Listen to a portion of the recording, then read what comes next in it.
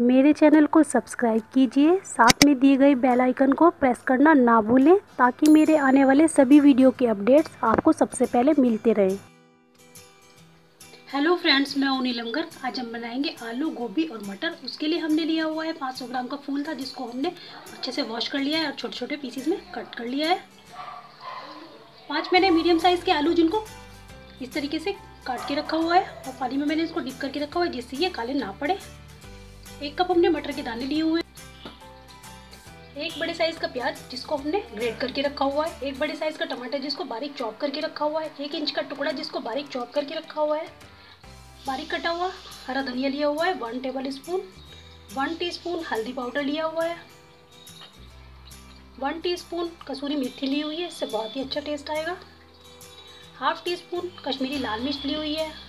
Half tea spoon लाल मिर्च powder लिया हुआ है, नमक टेस्ट के अकॉर्डिंग ऐड करेंगे वन टीस्पून जीरा लिया हुआ है, एक दालचीनी का टुकड़ा, इससे बहुत ही अच्छा फ्लेवर ऐड होगा, एक बारीक कटा हुआ हरी मिर्च लिया हुआ है, हाफ़ टी स्पून बुरा हुआ जीरा पाउडर लिया हुआ है वन टेबल स्पून धनिया पाउडर लिया हुआ है वन फोर टी स्पून हींग लिया हुआ है ऑयल लिया हुआ है, सब्ज़ी को बनाने के लिए सबसे पहले हम एक पैन लेंगे, गैस को ऑन कर देंगे और उसमें ऑयल को ऐड करेंगे वन टेबल स्पून ऑयल को हम अच्छे से गर्म होने देंगे। ऑयल हमारा गर्म हो चुका है। अब हम इसमें दालचीनी का टुकड़ा और जीरा भी ऐड कर देंगे। हींग जीरे को हल्का सा स्प्लेटर होने देंगे। जीरा हमारा हो चुका है। अब हम इसमें कद्दूकस किया हुआ प्याज ऐड कर देंगे। इसको हल्का सा ट्रांसमिशन तक भून लेंगे। फ्लेम को हमने मीडियम रखा हुआ है। बारीक चौक अदरक भी ऐड कर देंगे। दोनों ही चीज़ों को अच्छे से होने देंगे। अगर आप ओनियन खाना पसंद नहीं करते तो आप इसको अवॉइड भी कर सकते हैं।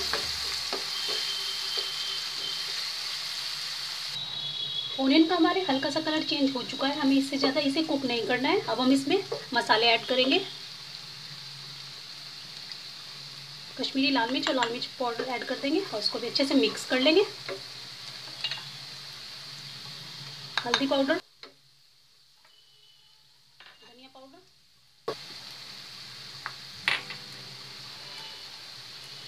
मसालों को अच्छे से भून लेंगे। भुना हुआ जीरा पाउडर भी ऐड कर देंगे।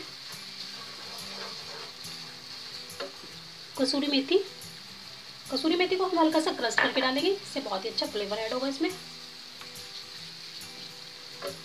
फ्लेम को हमने कर दिया है लो और लो फ्लेम पे इसको अच्छे से भून लेंगे।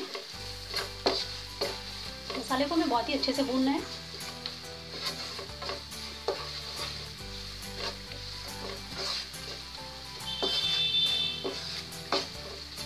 मसाले को हमें तब तक भूनना है जब तक मसाले से घी अलग ना हो जाए और मसाले में अच्छे से खुशबू ना आने लगे।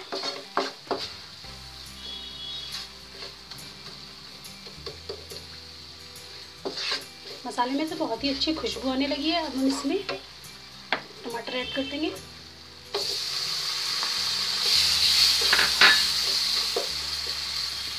बारीक कटी हुई हरी मिर्च ऐड कर देंगे।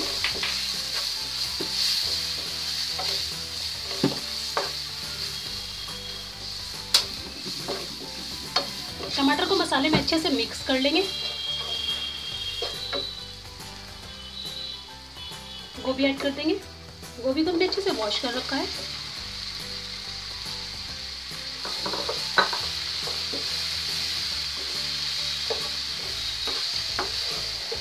गोभी को अच्छे से मिक्स कर लेंगे मसाले में। ये अच्छे से मसाले में कोट हो जानी चाहिए। इसके बाद हम इसमें आलू ऐड करेंगे।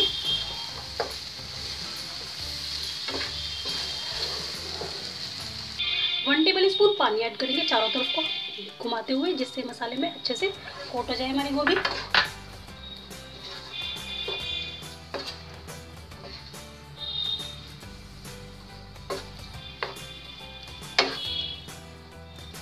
गोभी में मसाला अच्छे से कोट हो चुका है, अब हम इसमें मटर ऐड कर देंगे और उनको भी अच्छे से मिक्स कर लेंगे।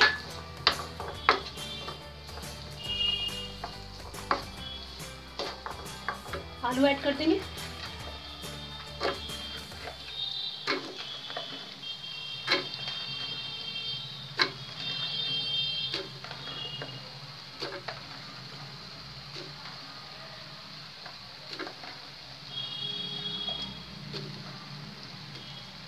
ऐड कर देंगे।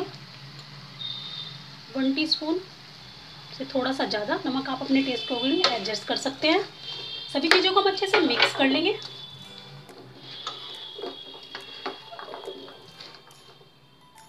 सभी चीज़ों को हमने कर दिया है अच्छे से मिक्स और इसमें थोड़ा सा पानी इस तरीके से हाथ में लेते हुए चारों तरफ़ से डाल देंगे। हमें इसमें बहुत ज़्यादा पानी ऐड नहीं करना है।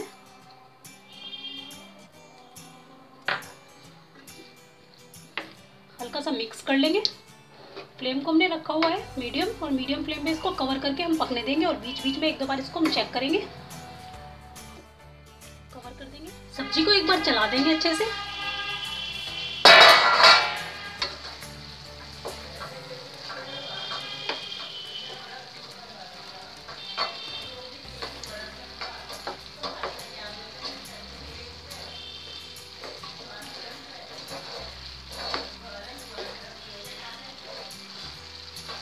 अच्छे से मिक्स कर लेंगे, जिससे ये इवनली कुक होगी।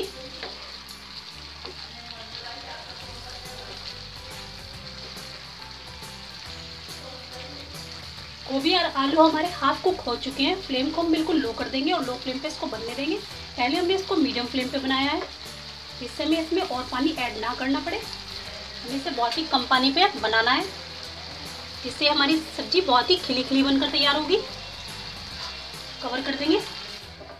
बार चेक कर लेंगे। एक बार हमने इसको बीच में मिक्स किया था अच्छे से। सब्ज़ी हमारी अच्छे से कुक हो चुकी है और पानी भी इसमें बिल्कुल ख़त्म हो चुका है। फ्लेम को हम हाई कर देंगे और एक मिनट के लिए इसको हाई फ्लेम पे अच्छे से भून लेंगे।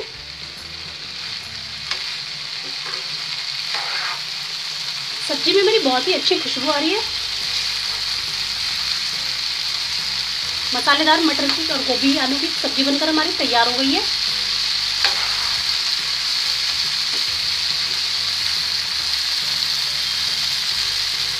सब्ज़ी को करछी से हमें बहुत ज़्यादा मिक्स नहीं करना है। एक मिनट हो चुका है, गैस को ऑफ़ कर देंगे। और इसको एक एक से दो मिनट के लिए इसी तरीके से कवर करके छोड़ देंगे। दो मिनट हो चुके हैं, सब्ज़ी हमारी अच्छे से कुक हो चुकी है। अब हम इसे सर्व करेंगे।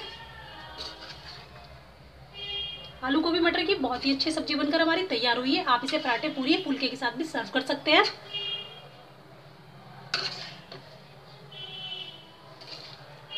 ये बहुत ही सिंपल रेसिपी है। अगर आपको अच्छी लगती है तो प्लीज़ आप हमारे चैनल को सब्सक्राइब करें, वीडियो को लाइक करें और ज़्यादा से ज़्यादा शेयर करें। धनिया पत्ती से गार्निश करेंगे।